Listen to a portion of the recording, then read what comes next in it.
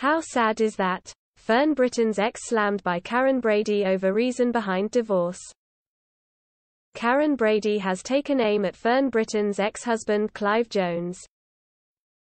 After the former This Morning presenter and author claimed that a rift over her Mensa test results led to the demise of their marriage.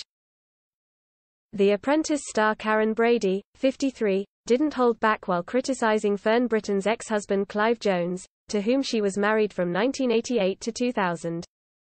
Before tying the knot with her now ex-husband and This Morning co-star, Phil Vickery, 61. Karren was left seething. After Fern revealed the reason behind her split from Clive, that she secretly took and passed a Mensa test, which gave her membership to the High IQ Society. An immense rift then occurred between the former couple when Clive didn't pass the test with flying colors like Fern had done.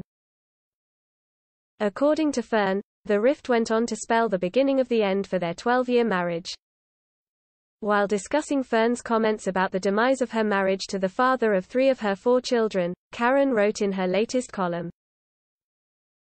so interesting to hear Fern Britton's revelation that it was her success on the Mensa test that prompted her divorce from her ex-husband Clive Jones. The businesswoman fumed, how sad is that? Elaborating on her opinion on the matter, Karren declared to The Sun, if you are happy in a relationship, there is no need to outdo each other.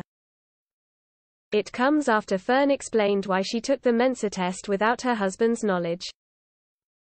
Talking on the Walking the Dog with Emily Dean podcast, the author divulged, he had this degree and I don't, so I secretly went off and did the Mensa. I lied, I said I was going somewhere else, and it took a day to do this test. I passed, and quite well too.